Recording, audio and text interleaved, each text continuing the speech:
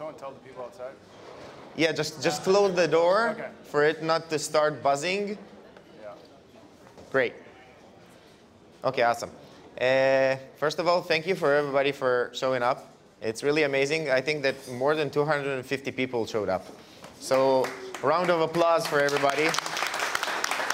Great.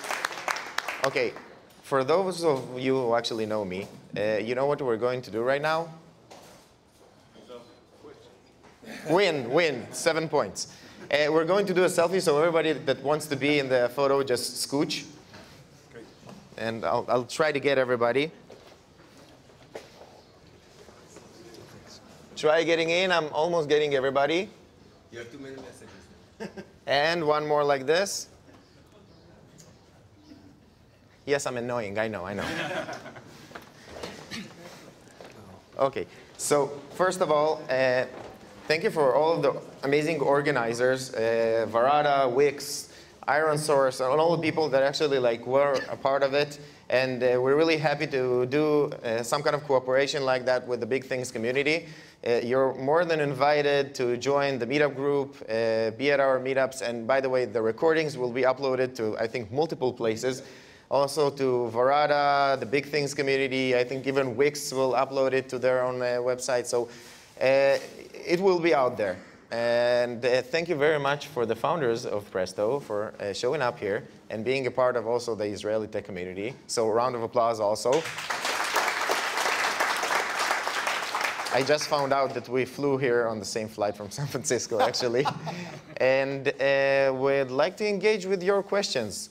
So I won't blabber a lot. And if you don't have any questions, I can start talking also. Okay, we have the first question. So please wait for the mic. It's back there.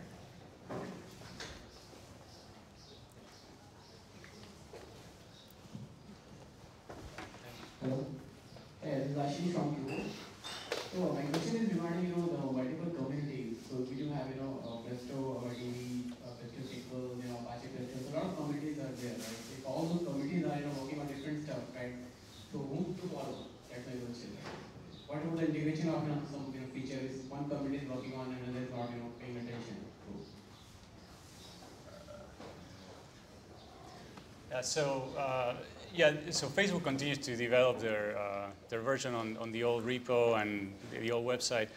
But if you look at the like who, who's actually contributed to Presto over the past few years, uh, pretty much the majority of the, all the contributors have moved on to the to, to a new repo, to a new the new website. We're doing all the there. So uh, if you look at the, at the stats now, uh, we since since uh, we created the Foundation, there are more than 800 commits on the on the new repo. The the old repo has much less activity, so and I know you should you should keep an eye on it. Uh, I expect uh, the, the Presto SQL to continue to accelerate as more people get involved. And, uh, and, and if there are if there are things that are interesting, we're gonna be watching the other repo and pulling the, the, the things across. Um, and then there are um, there are a number of features that sometimes get put in ahead um, into different specific products from commercial vendors, et cetera. Um, for the ones that they intend to open source, we're almost always working with them throughout the project. And you'll see that, uh, like the cost-based optimizer is one of those. It just took a really long time to get it uh, right and integrated in. And the Starburst community, when they built it, they put it in their product. And because they have a uh, self-contained product, it's easier for them to make changes. So they were able to get it in a lot quicker for them. Um, but like these other things, like we're you know, actively working with everyone in the community to try and get the best stuff back into the version that everyone's using.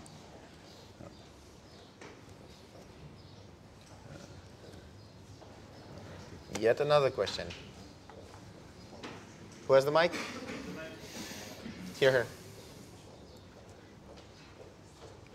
What are the main advantages of Presto over Spark I actually don't use Spark SQL, so I couldn't honestly tell you that. Um, maybe Martin, do you have any? I'm not very familiar with uh, Spark SQL, so Is there any Spark SQL user here that can compare both? I think it accelerates faster. The cluster. So, can you repeat what he said? Um, I have an answer for that question. At least in my organization, we use Spark SQL as for a Hive replacement, and that means we use it for, we let the data developers use it, and the analysts, they use um, an, an MPP engine like Presto, like Impala, and this is not on the same um, queue as Spark SQL. It just Spark SQL is for to me is for batch processing. And this is more for the analysts for reporting for Ad hoc queries. Just dif- different, uh, much low lat- much more low latency than Spark SQL because it's not like managed via YARN or something. So it's like for a whole other use case. Presto, Okay, okay. Impala, Any Wix, I've got one. other use case, Cool. In my opinion. Marty?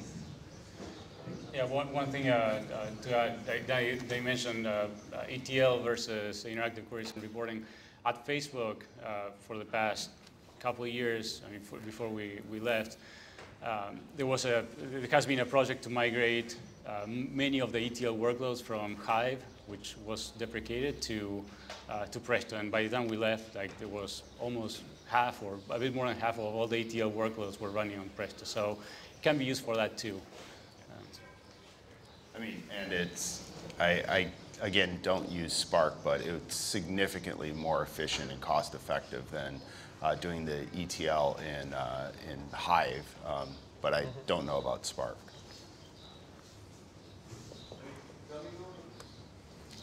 We have, Yeah, there's another question. Wait, wait a second. You should be clear that you can ask questions for the other speakers too. yeah. Ah, no, of course. Hello. We'll get to Uh, Are you going to use index? in the future? Sorry, can you? What Indexes. Are you going to use access index or something like that on? Uh, so Presto today supports, uh, uh, indexing is a complicated topic, so Presto supports a execution mode for joins that allow, uh, allow the engine to, instead of, uh, I if you, re, if you uh, remember from the, the talk from Roman, he was talking about how Presto loads one table into memory and then uh, joins it against, uh, process against that table. There's a, a mode where you can process just one table and then on demand get the rows that match uh, from the other side. So if you have a connector that under the covers uses an index, you can implement a set of APIs and, and, and pre- and effectively use that index uh, to execute your query. Um, there are, and that, that's at the query, global query execution level, but within a, a specific connector, within a specific format, there are, you, you could think of uh, local indexing. This is something that uh, actually Varada does uh, in their product. Sorry, uh, oh, the, well, that, that that specific for the, uh, to each data format. So uh, I don't think Orc right now has a way to index, but It- So, I mean, uh, what ORC has internally, the min-max is technically called a Brin index. It's a binary range index. Um, and then they also support uh, Bloom filters, which is just another form. Um, so, uh, Presto's a federated database, so we're typically not in the business of going into specific storage solutions and uh, updating them to support features like that. If they happen to support that, then uh, someone, whoever writes the connector typically tries to take advantage of it, assuming they know that Presto also supports it. Um, I'm not aware of much progress in the Hadoop ecosystem around doing um, adding index. There was some work on that, uh, but it really didn't get traction. So if that became popular, we would clearly add support for it. Um, and I think Yeah, and, the JDBC connectors, um, they support indexes the underlying database is indexed. So if you say like where, select from a table where ID equals X, that filter will be pushed down into the underlying database and will take advantage of the index in that database. And also the uh, Thrift connector, which allows you to implement a Thrift API um, a- as a service, and then the connector will talk to that. Um, that also supports indexing. So if you uh, have like already like an indexed uh, key values, um, you have a key value store and you want to like put a Thrift API on top of it, then Presto can talk to that and take advantage of the indexing.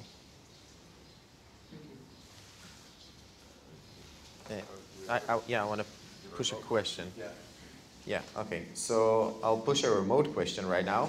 And uh, afterwards, by the way, if you have uh, questions for the other speakers also, this is the time.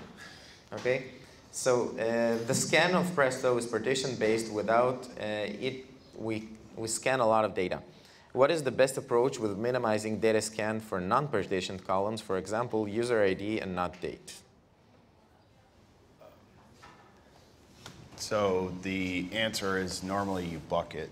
Um, so um, so the the issue with partitioning and with bucketing, which is just another form of partitioning, is uh, especially in Hive, is you get to do it exactly once, and so you have to kind of know like, oh, this is the native way this table is divided up, which is great when your table just has a user ID, but when it has user ID and it has like advertiser ID, then you're in trouble because you got to pick one of them.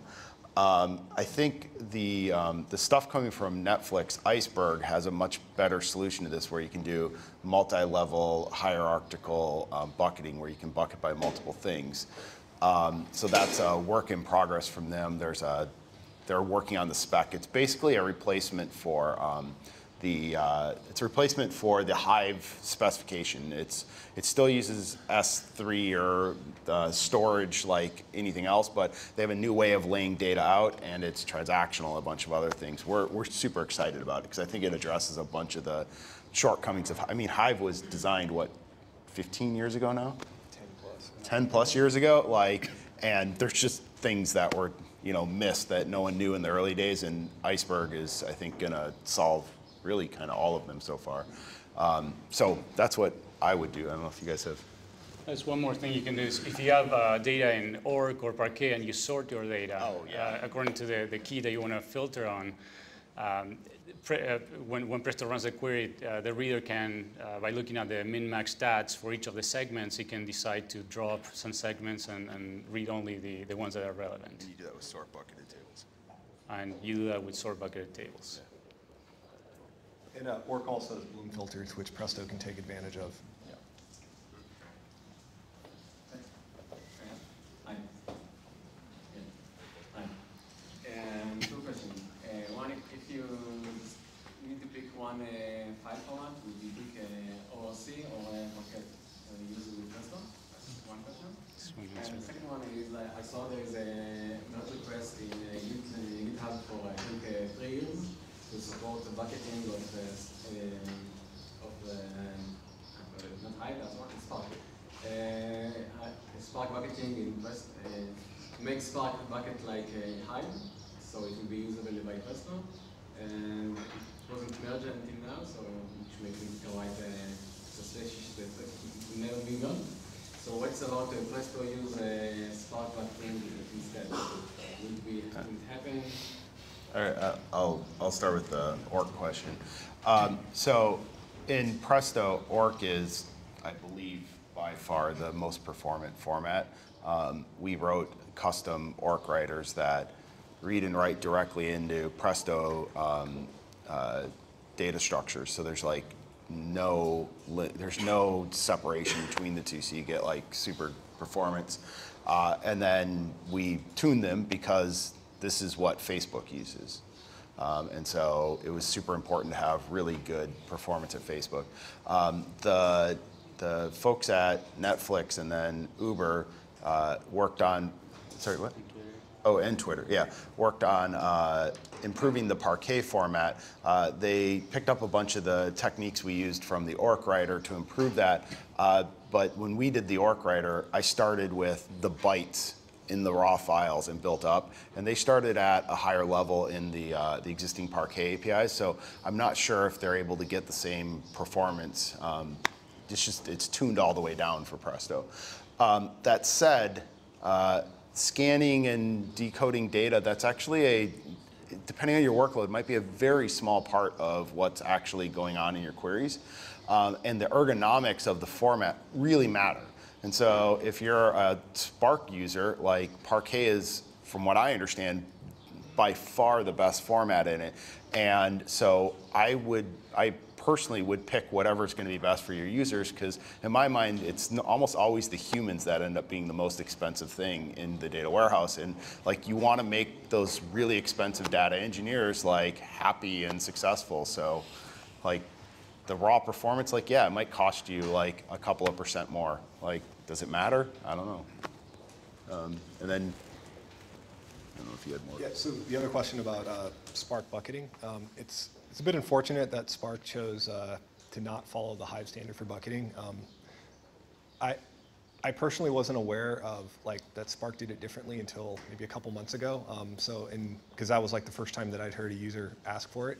Uh, so for, for that kind of stuff, um, there's kind of two ways it gets in. One is that we hear from a whole lot of people that like this is a feature that we want you to support, um, and then like somebody will choose to work on it. Um, the other way is like if you're really interested in this, um, like send us a pull request or like talk to us on Slack, and like we can help you figure out um, where to get started in implementing that. Uh, Hive 3.0 also introduced a version 2 of bucketing, which is like a different hash function, so it's incompatible. Um, and so implementing that um, will probably be very similar to what we would need to implement Spark, because basically, like right now, we only support one kind of bucketing for Hive, so like there's a bunch of assumptions that there's only like one kind of hash function. Implementing two versions um, would make it basically really easy to implement a third version for Spark. So those two things could probably be implemented more or less at the same time. Yeah, and comment on the Hive 3 stuff, like, we're not actually sure anyone's gonna update to Hive 3. It's, it seems to be really incompatible with, like, backwards incompatible with the previous Hives, and I don't think it actually works with Spark. So if there's people from the community that are really interested in going to Hive 3, like, we need to know, because right now, um, we are only hearing from people who are experimenting and then finding out it doesn't work with Presto or Spark or really any of their other, or some of the tools from Hortonworks even like don't work with it yet. So um, we're kind of curious where people are going to go because it's a really big change. Um, so I'll show a question also. Uh, I think we should have a hashtag, make data engineers happy again. like a, something like that. Okay. Um, I saw in one of your presentations that you spoke about spot instances and like optimization and the matter of cost there. Um, talking about like Google Cloud, preemptible VMs are pretty uh, different kind of beast and not exactly like uh, launching uh, the way that spot instances launch. So are you doing any like cooperation with cloud service providers? Or I, I would ask here, how many people are working with Google Cloud with Presto? Surprise. how many are working with Amazon, AWS? And on-prem? Other things?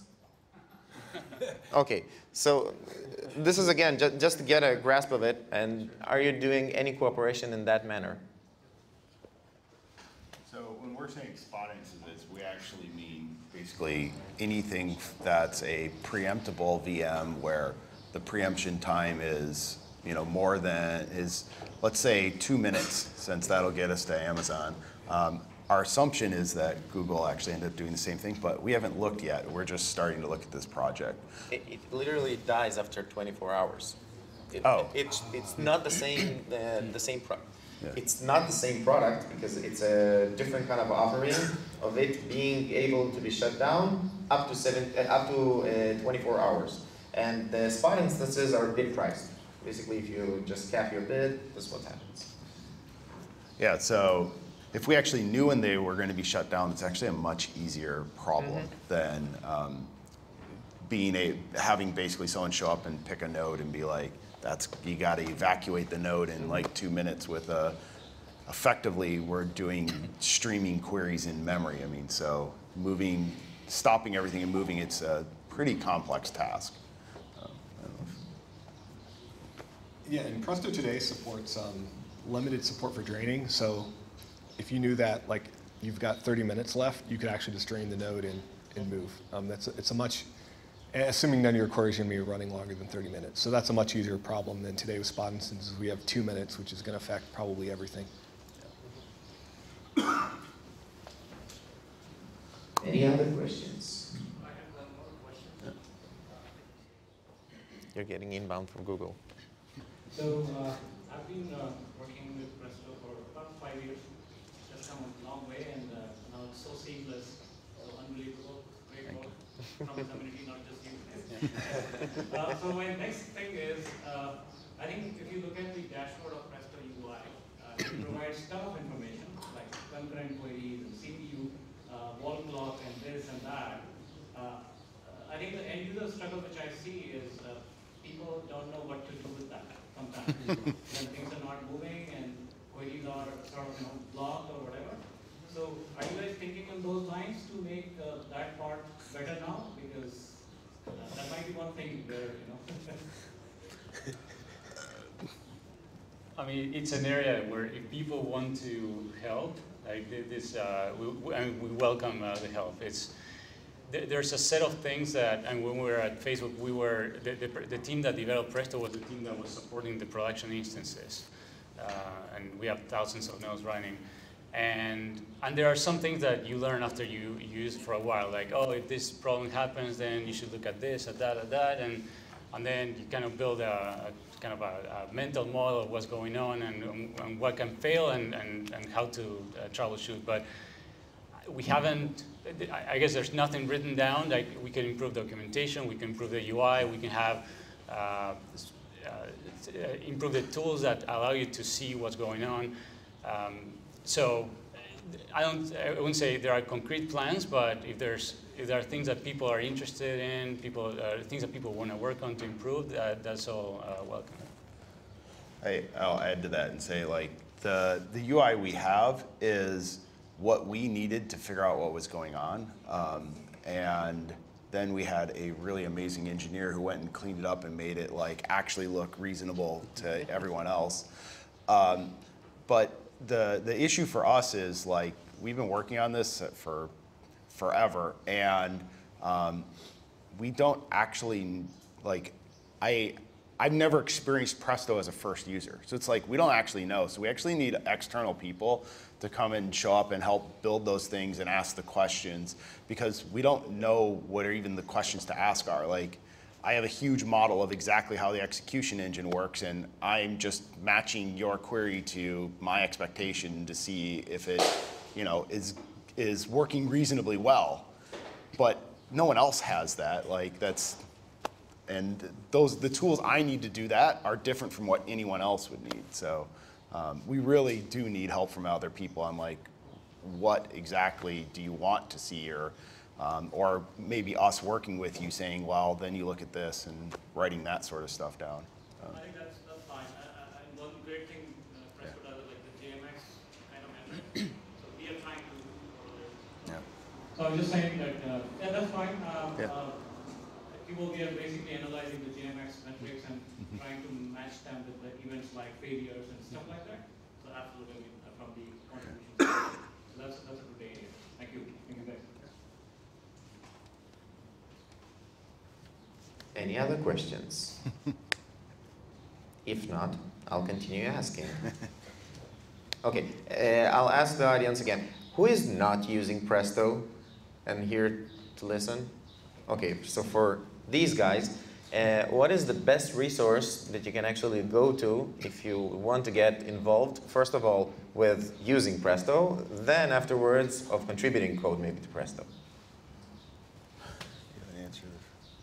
Well, uh, for using Presto, of course, go to the website. There's uh, instructions of how to uh, download it, how to set, how to, basically how to configure it, the basic configuration, how to unpack it, how to uh, start the server, how to try out a few queries, and, and so on.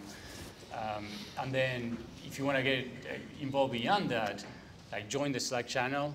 There's always someone, someone there. It's not just us. There's a huge community of, of people involved.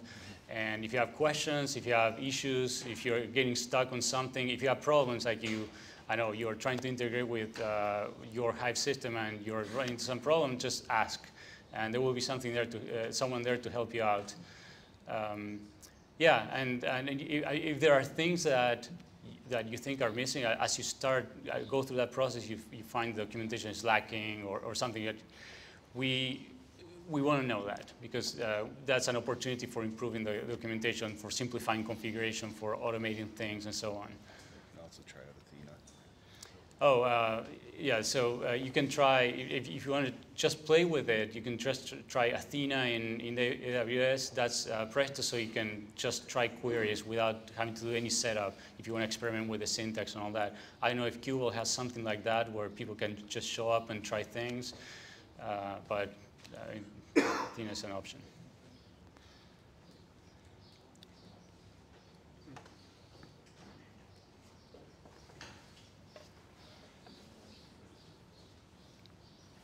How do you handle REST version upgrades and connector upgrades in Facebook?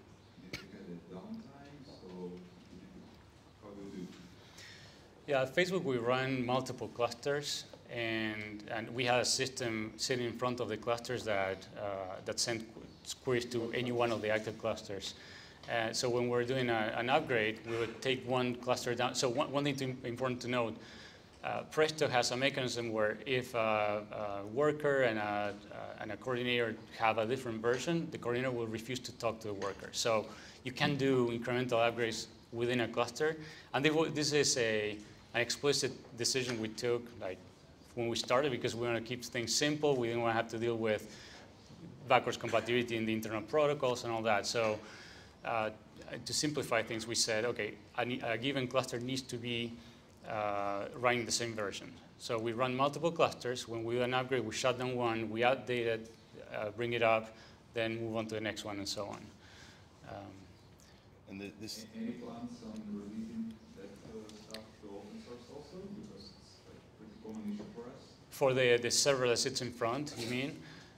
There, there's, um, there's actually a project from Lyft uh, they just open sourced it that does exactly that. So that could be useful to you. Um, like it's called Presto Gateway. I think it's on the GitHub repo from uh, from Lyft, and I'm sure like it's probably geared to certain things that Lyft needs. So, uh, but I'm sure they will take contributions if, uh, if there's something that you need.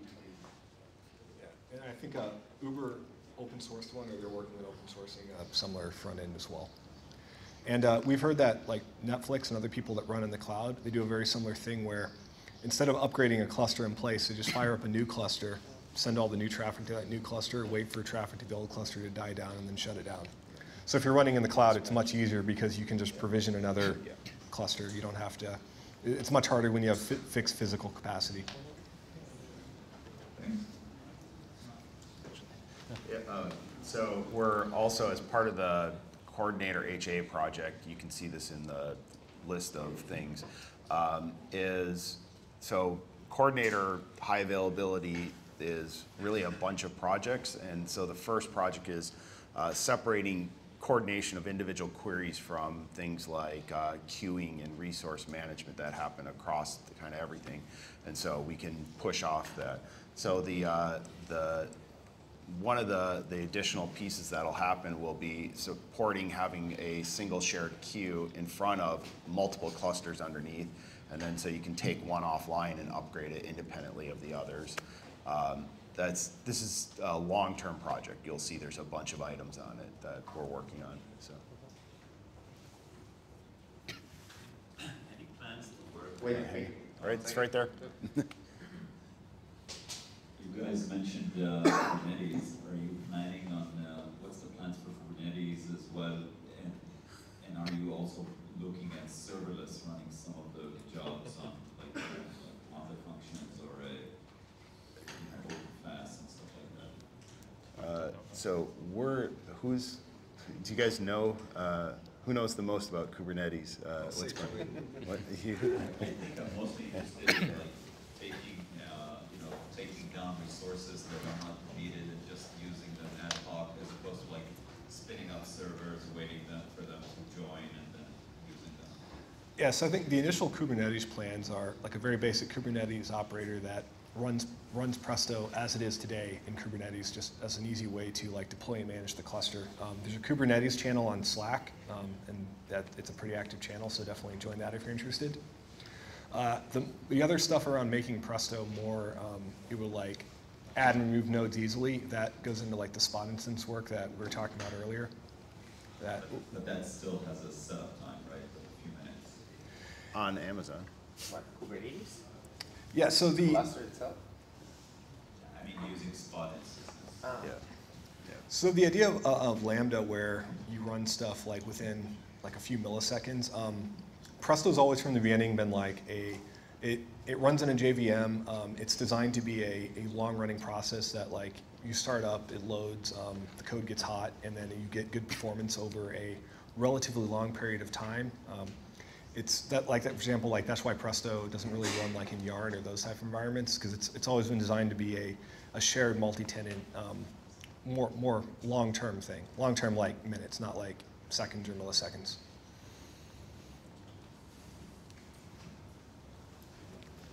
And to continue this like subject, uh, in the matter of functions and everything, Google just released Cloud, Cloud Run and all of these kind of things that basically don't rely only on Kubernetes. Probably they like run on the back end and everything, and it fires up like supposedly much faster. So this is maybe another way to, to look around that serverless uh, method. Yeah, one, one of the, the things uh, we mentioned in the talk of uh, allowing connectors to uh, resolve functions dynamically and provide function implementation dynamically can, uh, it's actually something we, we uh, an idea we toyed around and we may pursue it at some point is uh, having a connector that can execute functions remotely. And this could take advantage of Lambda or something like that where you, you're running the, the basic query in, in, in a few machines and, and you delegate all the execution for the, for the functions to a remote uh, system, uh, uh, to Lambda by, by, uh, by sending the piece of data, having the function uh, process that and return it back to Presto and continue. It's still very speculative, so if there's interest, something, something that people want to look into, that's another potential project. I mentioned uh, stuff like Lambda or Cloud Run or those things. Um, like they, they didn't exist when we started Presto, um, so of course we like we didn't design with any of that stuff in mind. Um, but not to say that like we can't work on that in the future. Um, and if you're interested in that, like, and you have ideas on like how we could take advantage of it, like definitely have a conversation with us. Because like I've never personally thought about it, but like it sounds really interesting. So I'd, I'd love to talk about it if you've got ideas.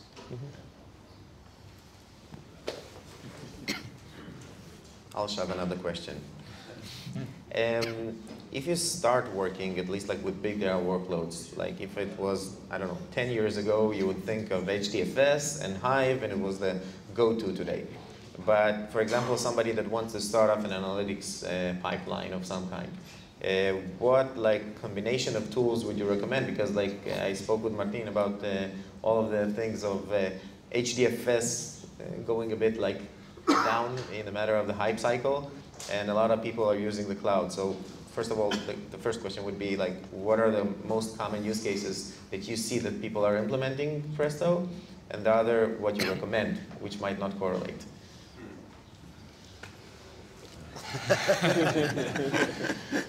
Uh, so in, in terms of use cases, we see everything. Uh, so at, at Facebook, uh, we had, I mean, we started Presto as a, as a faster SQL engine over Hive data. And, and then we, we made it extensible and all that.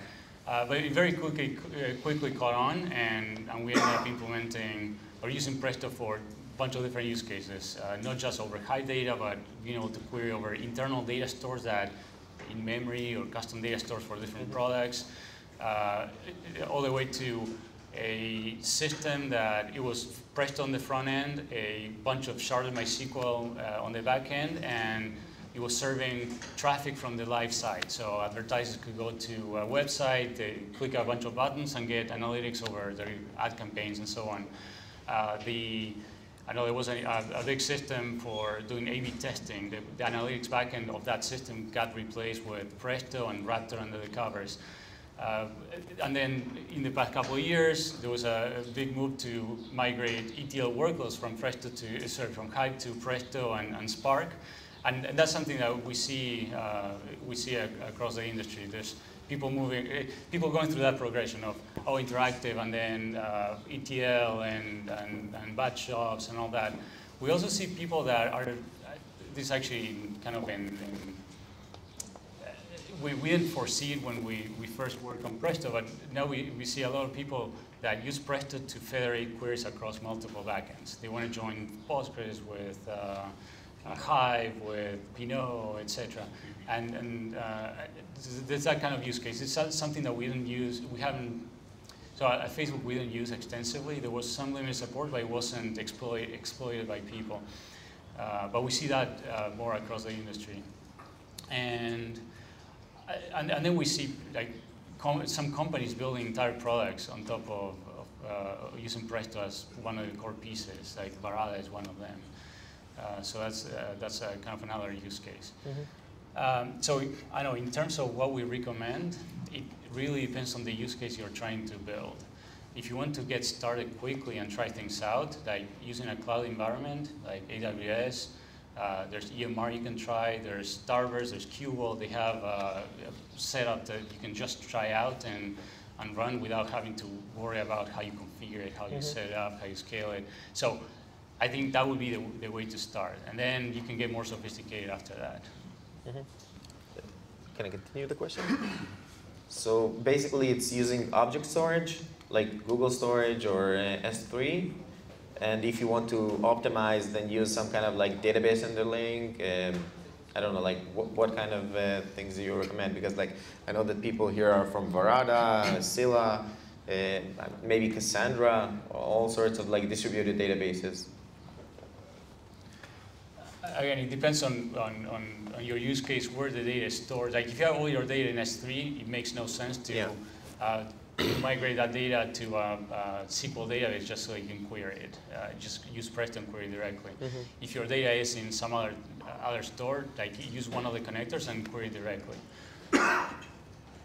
so normally people already have something set up and then they're looking at Presto. So like mm -hmm. normally like, oh, we have a Hive system and we want to do, it's almost always, we have a Hive system, we just want to do interactive queries. And then they, like, it's easy. You just point a new Presto cluster at your Hive system. You're up and running in a couple minutes. Your standard BI tools work. Um, I think Superset's the current favorite of people. I mean, it changes every once in a while. Um, and people are just up and running. And then they're like, great, now how do I get data from, you know, I have my ton of SQL servers. I have you know, data over here, and they grow, and then they're like, they're the typically they get to that point, and all the users are super happy, and they're like, this is awesome, great. Uh, I'm no longer want to write ETL jobs in some language I don't know. I don't know this Hive stuff, and then they start doing ETL jobs on the sly. Like they're out there and they're just like, they're like, I just got a cron job. I can make my ETL job. They run in like 10 minutes, and then all of a sudden you have a pile of ETL jobs right? And then you have to go and like convert everyone to like a managed ETL system. Uh, and then that's normally when the interactive team starts uh, getting into fights with the, uh, the batch team because they're always separate teams. I don't know why. and uh, then eventually Presto wins and um, the batch people, they come and they join the interactive team. They're like, this is so much better. They're so happy. Okay, that, that, that sometimes I want that to happen. but yeah, so um, that's normally the story. So what should I jump from nothing to? Like, I don't know, I'd probably just use like Athena if I had nothing um, and go from there. And any other questions for the other speakers right now? Something. No. Anything? You see that? No? He has a question. Uh, he has a question for himself. Uh, or no. Adding on to the last answer, um, I definitely check out the uh, Quix IDE that was just announced. That yeah. was awesome. Like we're super excited because it's like it looks like the tool that we've always wanted somebody to write for Presto. Yeah. Thank you. just adding on that, that, that's better than the tools we had at Facebook. like, I think they would be ecstatic to have that at Facebook. Okay, I have another question. Um, in a matter of development of uh, adding things to specifically to, to Presto and the whole like, have you thought of like joining Apache Foundation and moving that forward? Um, in general, like what's the skill set that a person has to have when he wants to start developing to Presto? And the other is about the Apache Foundation. So when we, uh, I mean, we started uh, setting the process of, of looking at setting up a foundation or joining another foundation, and we looked at everything. We took a long look at Apache. I'm, I'm an Apache member, um, and we looked at cloud native. We looked at uh, Linux. Mhm. The we looked at Eclipse. Uh, There's actually there's there's a ton of them, um, and the they all it all kind of came down to like could we get something that was a really good fit for Presto, and then what happens as Presto changes? So like you know throughout the years, like you know we we always want the community to be able to be adaptive to like what's going on, and so like Apache, for example, Apache has tons of projects. They're very good at running projects.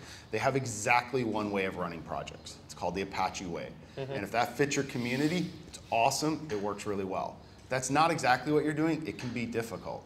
Um, so we decided that, hey, we have the time, we have the resources, uh, let's build something that's like completely custom to what the Presto community actually needs. And so that's where we ended up at starting a new foundation just for Presto. And it's not going to be a big umbrella thing, it's just to manage this and the very closely related projects to uh, Presto Core. Um, and what's, what's the other question? Uh, the other question was about.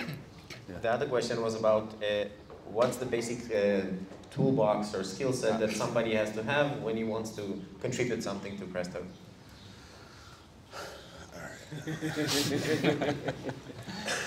Uh, so, well, uh, Presto is built in Java. So if you want to contribute to Presto, of course, like having knowing Java or, or, or learning Java would be a good thing. Unless you want to work on the UI. Unless you want to work on the UI and Or the docs. JavaScript and, and stuff that we usually don't deal with. That's why you have one guy that built all that stuff. It was amazing, and, and we didn't have to look at it ever, at it ever again. Um, so, but there's uh, I mean, different levels of, of complexity depending on what you want to do. Like you can start very, very simple, very easy by, uh, I know, writing functions. Those are very, very well isolated. You don't need to know much about the system to be able to deal with them or, or implement them. Um, so that's a good way to start. Um, then if you want to, depending on what's interesting to you, you can get into the language side of the, of the system, like the parser, the analyzer, planner, and optimizer, or into the execution, which requires uh, thinking about concurrency and distributed concurrency and, and race conditions and all that, so that gets a bit more complicated. Um, That's, that's funny because I, I would have put the complicated on the other side. Like that, that, that's the straightforward stuff. The the optimizer JavaScript? that's hard. The JavaScript's always hard. And CSS is Um, fun. That I like Oh. is easy. Yeah.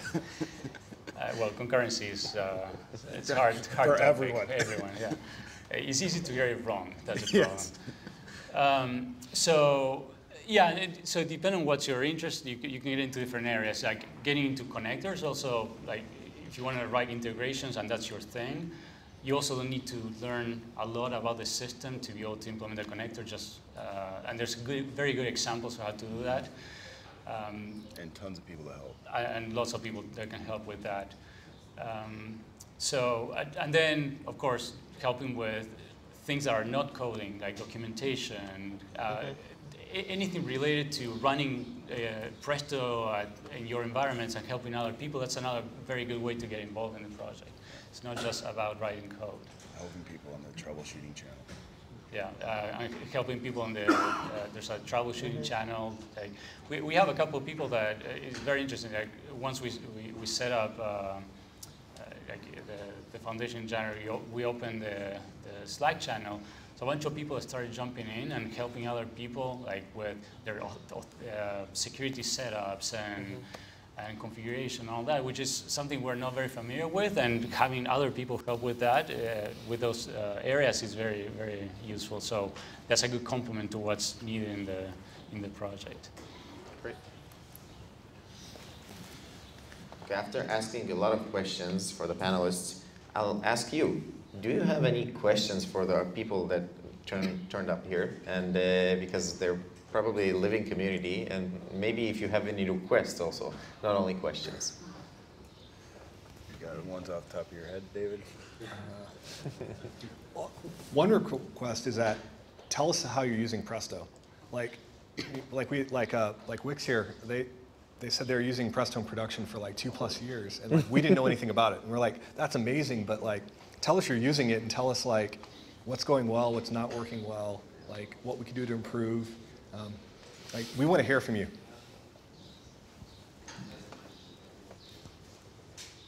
And, and uh, it, it actually really helps us when we can hear what people have used and built. So, like, Wix has a connector for um, connecting like Google Sheets. We saw that at Lyft, and it's a great idea. We had never thought of it. If someone had brought this up like three years ago, we would have like I assume that takes like a less than a day to build the whole thing. I mean, it's it's a it's a single spreadsheet's worth of data.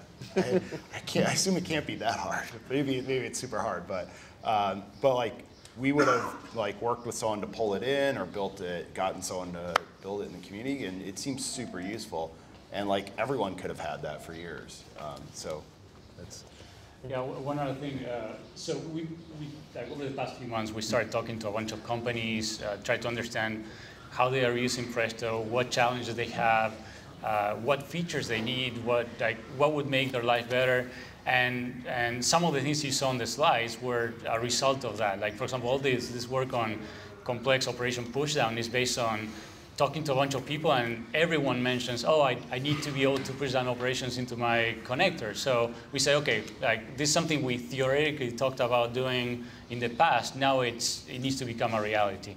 So understanding what people uh, people need is it's a good way. Even if it's not, it may not be just us getting getting involved in the development, but uh, like it can raise the interest of other people in the community to jump in and contribute and, and work on something that's needed by the majority of people. So, mm -hmm. David, David. Oh. Like I really enjoyed the uh, talk about ACID transactions in Hive, uh, for Hive, and uh, I had a bunch of thoughts on that. And um, if you run into a problem like that, like definitely talk to us because like we probably have ideas about. Well, we could probably make this one like minor change in Presto that would make this thing possible and make it much easier for you to implement. Yeah. So anytime you run into anything or like you have a question about how could I do X or what's a good way to solve this problem, like jump on the Slack and talk to us. Like we'd love to hear from you and help you out.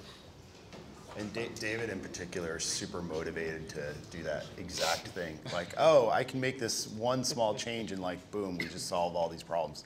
Um, that's why I was saying he's the Swiss Army knife. He's likely the guy who fixed the bug you had. so, and he had it. Yeah. So in SimilarWeb, we are using a Presto in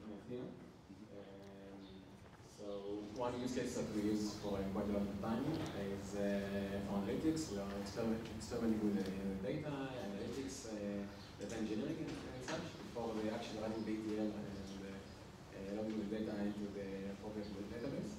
But uh, we now started to actually use a Presto in, in Athena in real time. real time API that user actually waits on the other side to get the data. So we are using Athena. It's not a pure Presto guess it's a four. And we managed to get a half a second response time in, uh, with Presto, which is quite uh, significant. Uh, our main issue with Presto is uh, we managed to do that by using a bucketing, which is extremely helpful. It reduces the, the, the latency by a lot.